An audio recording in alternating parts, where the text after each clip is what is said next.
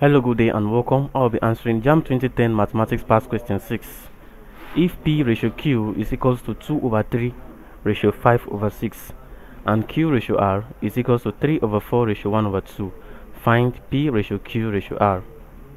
Now the options given are A is 9 ratio 10 ratio 15, B 12 ratio 15 ratio 16, C 16 ratio 15 ratio 12 and D 10 ratio 15 ratio 24.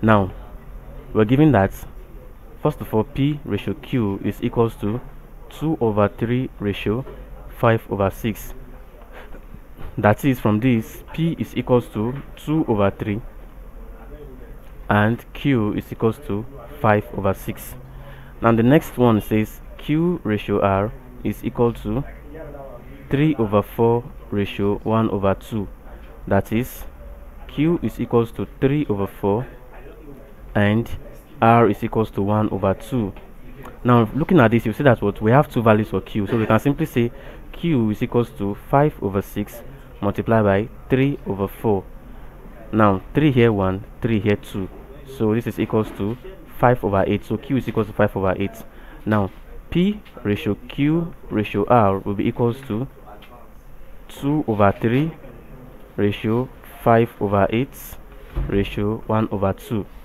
now looking at this let's look at the denominator. The denominator here will have what? If we can make the denominator here to have the same base that is having the same LCM then we can pick the numerator as the ratio. So the LCM now this denominator we have 3 8 and 2 that is what? 24 24 now 3 in 24 is 8 it's multiplied by 2 we give us 16 ratio. 8 in 24 is 3 3 times 5 15 then 2 in 24 is 12 12 times 1 is what 12 now we can now pick the word numerator as the ratio. We can now say since the denominator now is the same for all we can now say p ratio q ratio r is equals to 16 ratio 15 ratio 12 and looking at this that is what option c. So option c is the correct answer to this question. 16 ratio 15 ratio 12 thank you and god bless you. And subscribe to the channel for more videos and past questions